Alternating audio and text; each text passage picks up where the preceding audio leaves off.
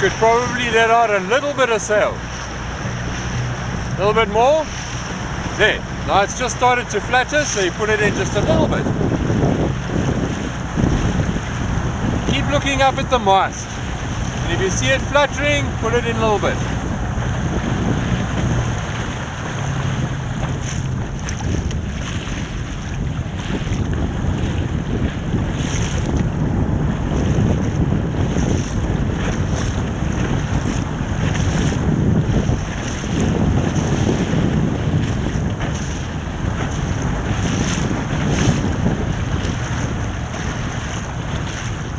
Good.